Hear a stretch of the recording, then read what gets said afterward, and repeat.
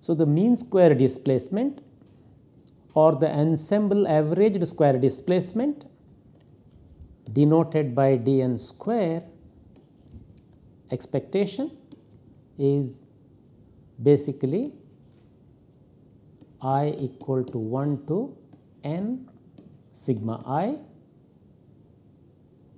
whole square.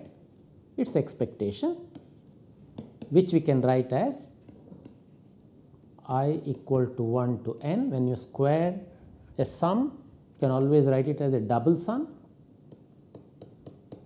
J equal to 1 to n sigma i sigma j and then the expectation process will come commute with the sums. So, you can take the expectation inside. If you expand the double terms, there will be n terms where sigma i will be equal to sigma j that is i equal to j. So, one could then write the first terms where i equal to j as basically sigma i square i equal to 1 this is corresponding to i equal to j term. And then of course expectation. And the remaining ones will remain as double sums, but subject to the constraint that i not equal to j, but all i. I equal to 1 to n j equal to 1 to n.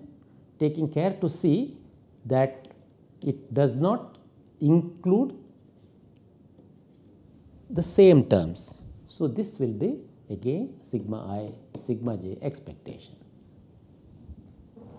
From the property that we have seen the sigma i square expectation is L square. So, it will have L square n such terms. So, it will be n into L square. And here we have seen that the cross correlation is 0 because of the mutual independence or the process is IID.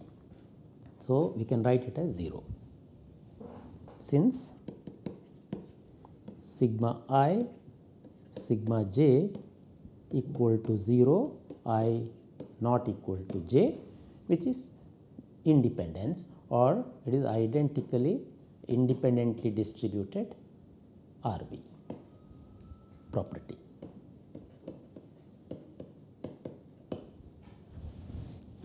Hence, we see that my so the square displacement is n into L square or d RMS if we define root mean square distance from the origin in n steps which is the square root of dn square average just take the square root it is going to be L root n.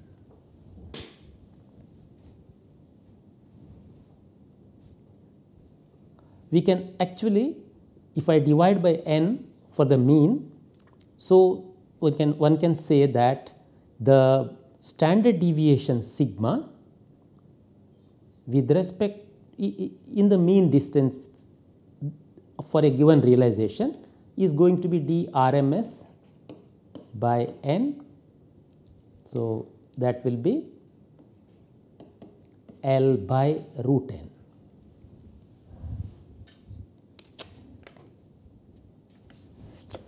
So, we have obtained very important result that although on an average the random walker's displacement from the origin is 0, his root mean square distance the measure of dispersity that he would walk he would have increases with the number of walks, but it goes as the square root of the number of walks.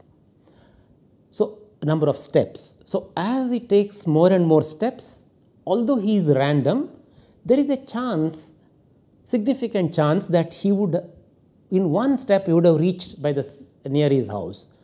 And if that particular house, let us say the person living there recognizes him and he could have taken him inside and he could have reached the destination although he was actually having no clue which way his house is. We now connect it to the CLT property that we saw. So, in the CLT property or in the CLT connection, every one of the sigma i's that we were taking, it maps to this value, sample value xi the realization of a particular random variable x. So, here sigma i is a realization of a particular random variable sigma. And the d, for example, dn that we denoted, which was the sum of sigma i. So, this corresponds to sum of xi.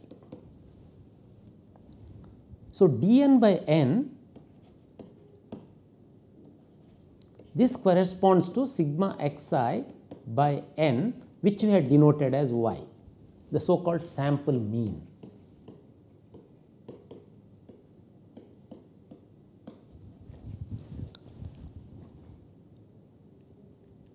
And from the property that we saw of the sample mean follows which follows from the central limit theorem, we had established that the probability density that the probability that you will obtain a value y different or y whereas the absolute mean is mu in this case the absolute mean or the universal mean is 0. So, this is going to be 1 of root 2 pi. E to the it was actually th that distribution is S e standard error e to the power minus y square by 2 S e square since mean mu equal to 0 and S e is basically the standard error sigma by root n. So, accordingly we can establish by mapping with respect to this a distribution from y you can easily go to dn because it is just y equal to dn by n. So, a distribution function can be mapped onto a distribution which is a distribution of a quantity which is a product of another uh, constant n. So, I can obtain a distribution function for the displacement in n steps as e to the power minus dn square by 2 n l square 1 by square root of 2 pi n l square. So, we without having done explicit detailed study of this random walk phenomenon by mapping the problem of a marching process stochastically marching process to a statistical process arrive at the details of the distribution probability that the person will be at a distance dn after n steps and how this probability distribution increases or changes with changing or increasing number of steps. There is a very deep physical connection of this random walk using steps to the classical diffusion problem let us say of a Brownian particle. So, that connection to physics and engineering is very interesting.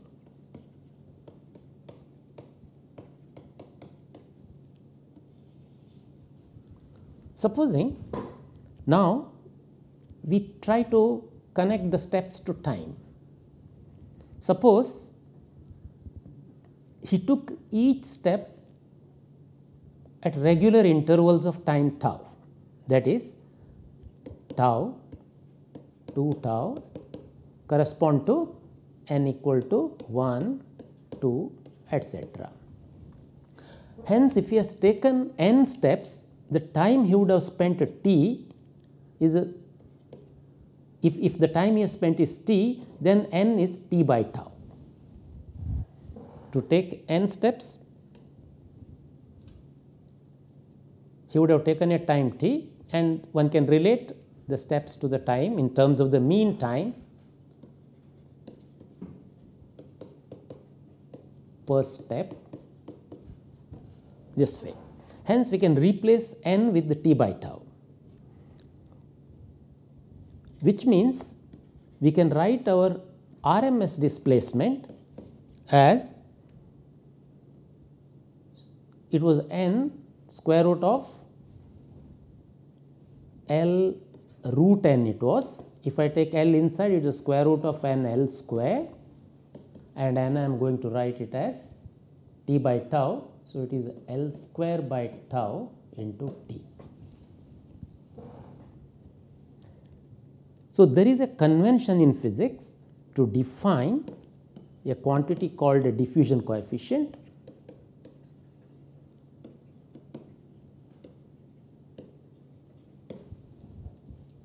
Denoted by d. And it is a microscopic quantity independent of the time taken or the position of the particle.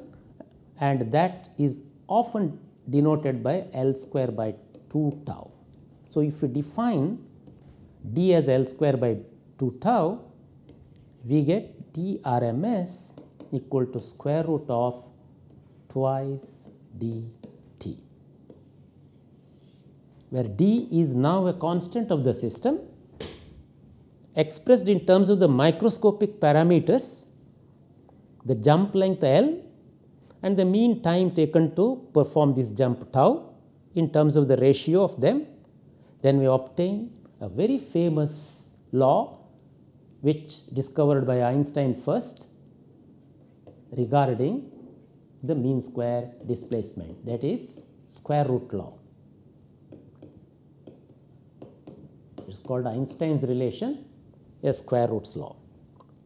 So, using this law Einstein proposed that experiments conducted with Brownian particles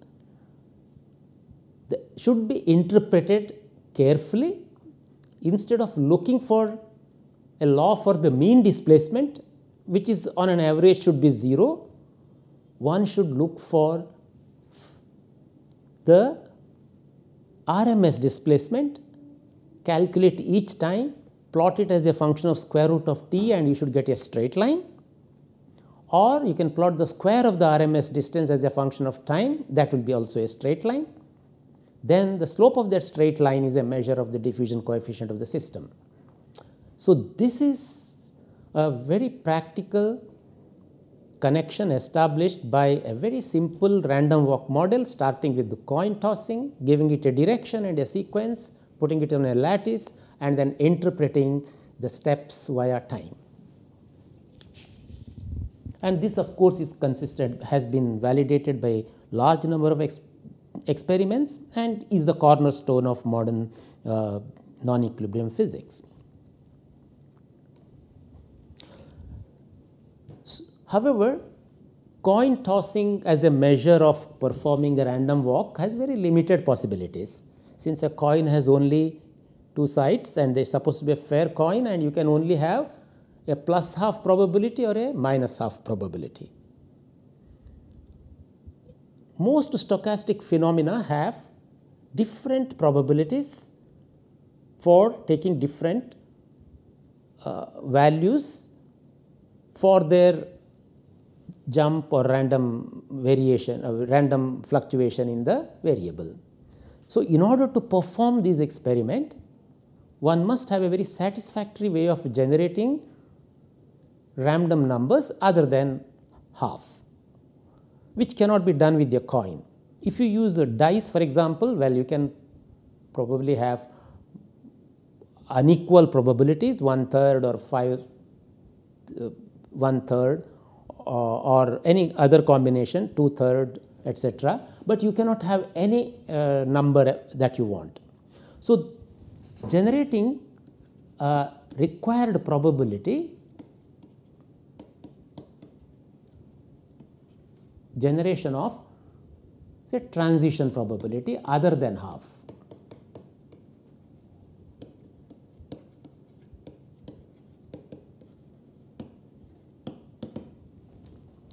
in general can be best done by a random number generator.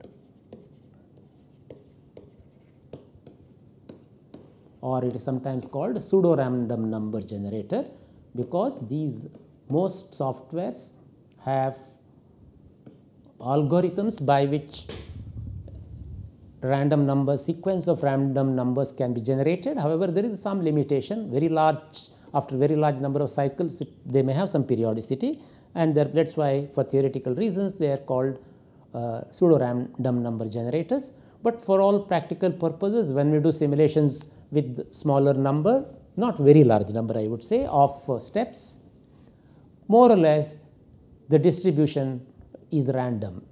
So, this is based on the concept of a uniform distribution between the interval 0 to 1.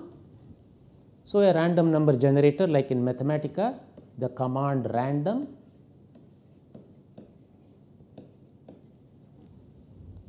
moment you execute this command one gets a random number and the probability of that number is lying in the interval 0 to 1 is uniform. Thereby, there is an equal probability of getting another number lying between 0 to 1 2 next time when you uh, execute the command random. So, if I want to have a stochastic process to which I want to assign a probability let us say not half, but let us say 0.3 and then of course 0.1 minus 0.3 as the con converse process. Then I would I will execute this process by by the commands let us say random in such a way that if the random number generated lies between 0 to 0.3 the action corresponding to that probability executed if it is not, then the counteraction is executed. So, if I have to execute a random walk in which the probability of forward jump is 0.3 and let us say P probability of forward jump that is probability of taking a plus L let us say this is 0.3 and probability of taking a minus L let us say is 0.7 then all that I have to do is to generate a random number and if that number lies anywhere between 0 to 0.3 I will ask the random walker to take a plus L jump otherwise I will ask him to take a minus L jump. So, this way we can assign arbitrary probabilities for the uh, process, random walk process at each step.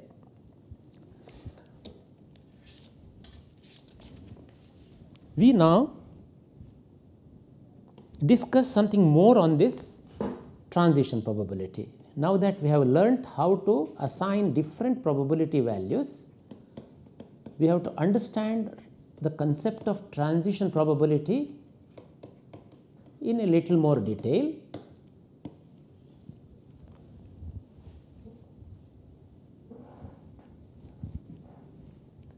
In fact, transition probability it sets the rule of propagating the stochastic process.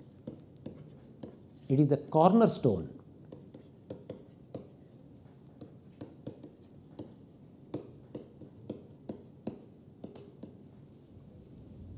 every time that probability that we assign to march the random walk or march the stochastic phenomena that is the importance of transition probability. So, how exactly this probability differs with respect to other probability. So, what are the other probability concepts which enter into the domain of stochastic processes?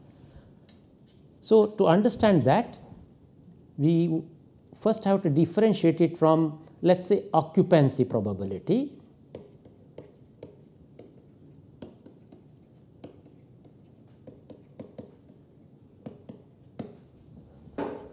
conditional probability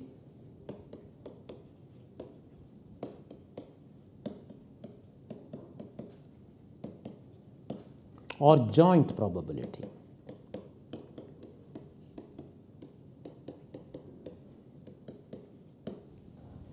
Other definitions or other concepts of probability we will take up as and when we are faced with it. So, we note one thing that perhaps the transition probability is closer to the concept of conditional probability.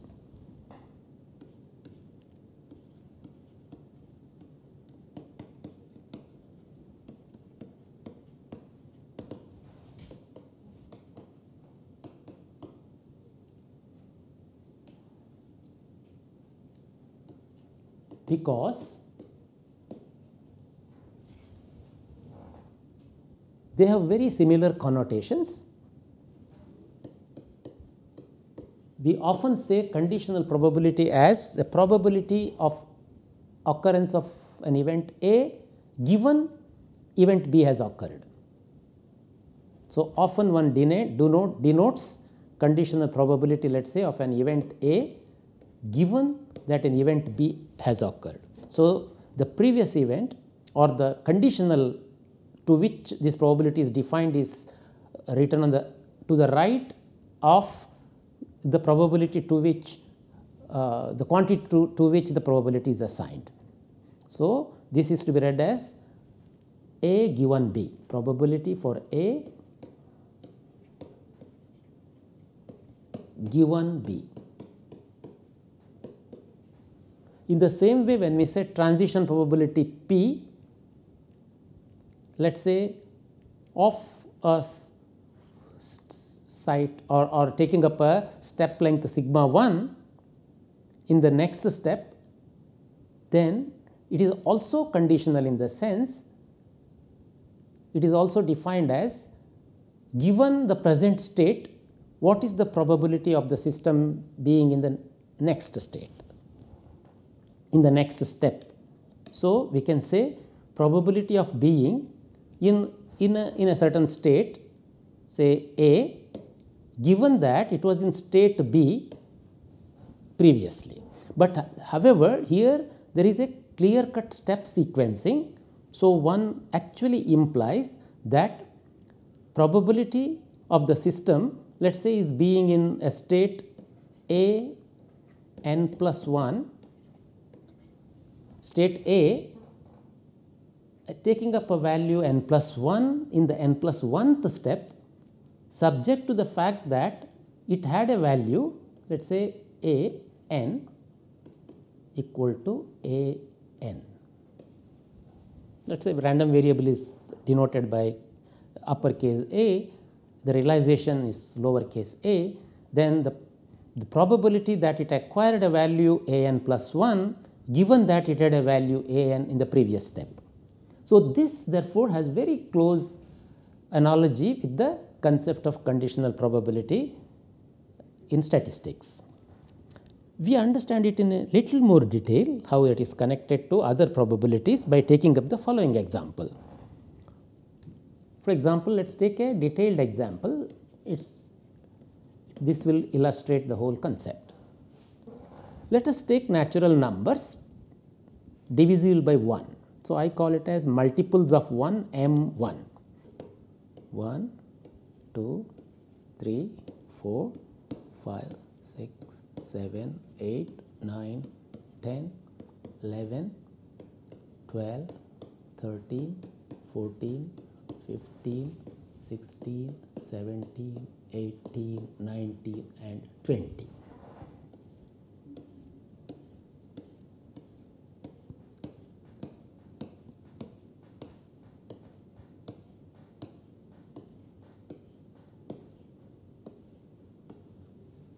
Now, this is the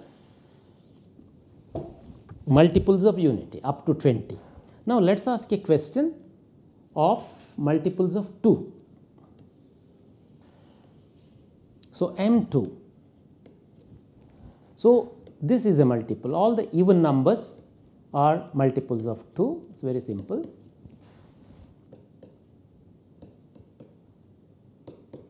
space of even numbers.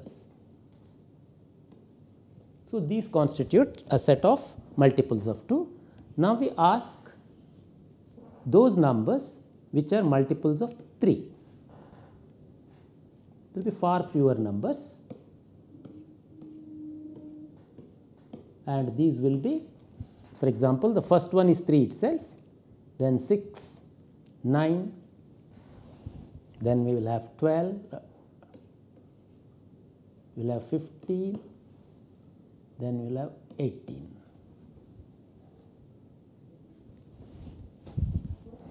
Now, this is the multiples of 3. So, we can record that we have the probability of getting a multiple of 1 p 1 equal to 20 by 20 is unity. So, if I randomly pick up a number between 1 and 20, whether it, what will be the probability of it becoming a multiple of 1? It is 1.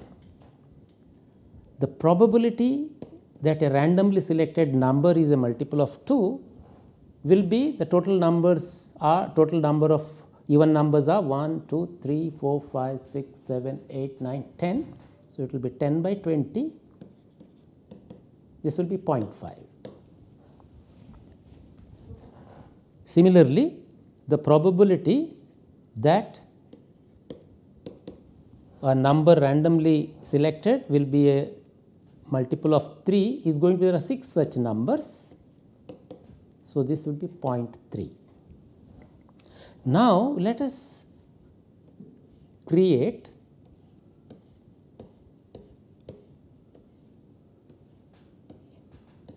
those numbers we can say which are both multiples of 2 and 3 that is we call it as m 2 and 3. So, we note that here 6 is one such number, the very next number is going to be 12 and the third number is going to be 18 and these are only three numbers which are available. Hence, the joint probability of getting 2 and 3 we can also call it as P2 comma 3 and that is going to be so joint probability is going to be 3 by 20 which is 0.15 the 15 percent chance that uh, number is uh, divisible by both. Now, I ask question on a conditional probability P probability that a number which is divisible by 3 is also divisible by 2 that is P 2 given 3. Yeah. This conditional probability is defined as P 2 and 3 divided by P 3. So, the conditional probability of obtaining number divisible by 2 given that it is divisible by 3 is basically a contracted sample space re normalized with respect to the probability of 3 from the joint uh, distribution and this is going to be uh, 0.15 divided by 0.3 which is 0.5. However, the probability of obtaining 3 or divisible by 3 given that it was divisible by 2 will again be given by P 2 and 3, but divided by P 2 the probability of obtaining even numbers and this is going to be 0.15 was the joint probability. The even number probability is 0.5. So, it is going to be about 0.3 which is different. So, in other words PAB is different from PBA obviously because the the probability space in the denominators are different. This therefore brings us to the definition in general of a conditional probability.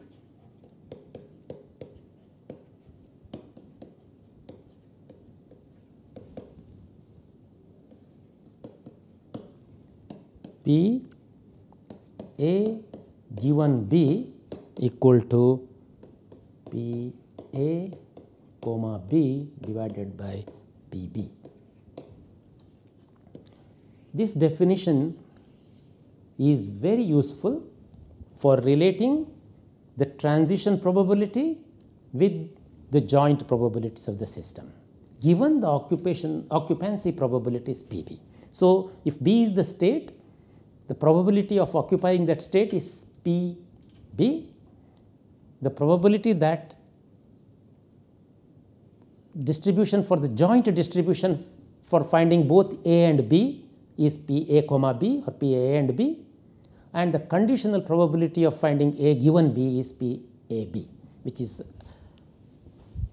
similar to transition probability. From this background we now move over to an increasing level of sophistication in the theory of stochastic phenomena.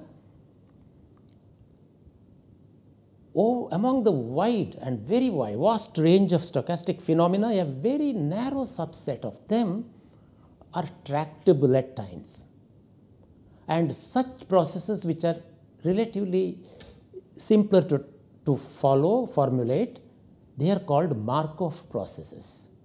So, we in the next lecture see what these Markov phenomena are, what are the examples and what perhaps could be the counter examples to Markov processes. Thank you.